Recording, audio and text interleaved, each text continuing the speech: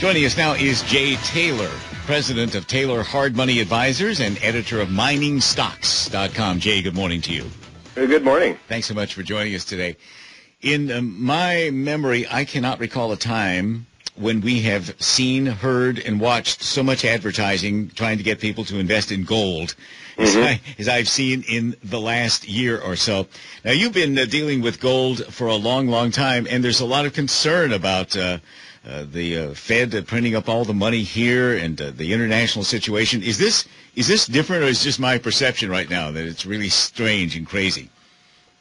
No, I think it's. Uh, I think your perception is exactly right. It is a strange and crazy time because it's a time when America has basically departed from its uh, uh, from from its history of being a free market um, capitalist nation. We have gone more and more towards Keynesian economics, which tries to intervene, interfere with the normal market, uh, with with the markets and the way they would behave. And we have um, uh, over the decades have become more and more, uh, or have drifted further away from true free market economics.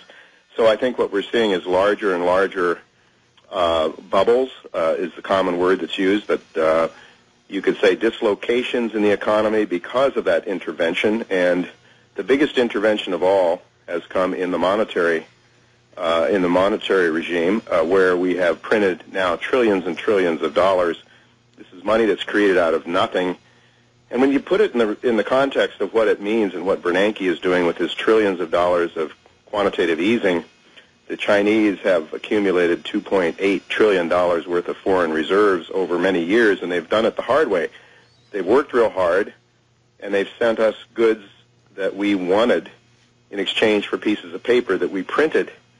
And uh, this cannot go on forever, and the world is starting to figure that out smart investors have been going to gold and to silver for some time. They will be the ones that come out the winner. Um, but unfortunately, most people are uh, pretty gullible and they're pretty willing to believe whatever they see on the major media. And so most people will be led like sheep to the slaughter, I'm afraid. Would you say it's true that when we let the free markets run, there are people that try to steal all the money and then government has to step in and try to make it better?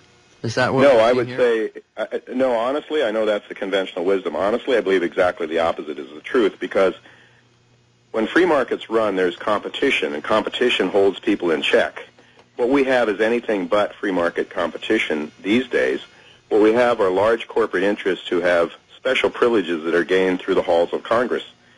Uh, and least, uh, and, and most of all, that I believe would include the bankers who have just been bailed out yes. at the expense of the common folks. And the bankers and the financial companies were out there using 40 to 1 leverage, and, and they got bit in the behind. Yes, and so free market economics would say, uh, let them pay the price. Uh, let them learn the lesson. Instead, we don't allow them to learn the lesson. We've taught the wrong lesson to the banking community, especially the large banks. We've taught them that they can take big risks, make huge profits, get great bonuses, and if they fail, well, we can just say that it's going to be in everybody's best interest to bail them out. Well, and that's the lack of regulation. Uh, no, I would say uh, no. No, I wouldn't say that's a lack of regulation. I would. We've had plenty of regulation. The regulators just haven't perhaps uh, paid much attention. Well, I, I, I will probably agree with you. Yeah, uh, forty to one leverage, unregulated, is going to have some problems.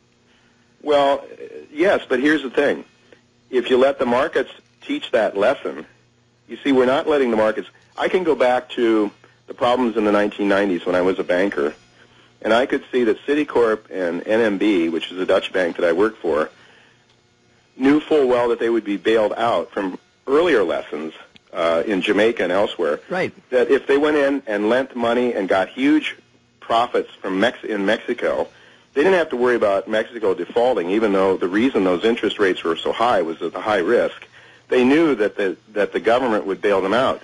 Right, right. what we absolutely. have, what we have, is a government that is inter, inter, interfering with the marketplace.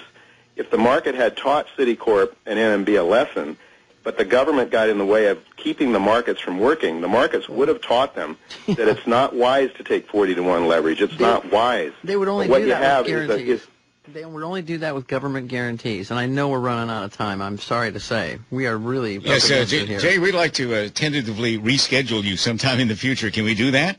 Oh, absolutely. Fantastic. Jay Taylor with uh, miningstocks.com is the website president of Taylor Hard Money Assets. Thanks for joining us this morning. My pleasure.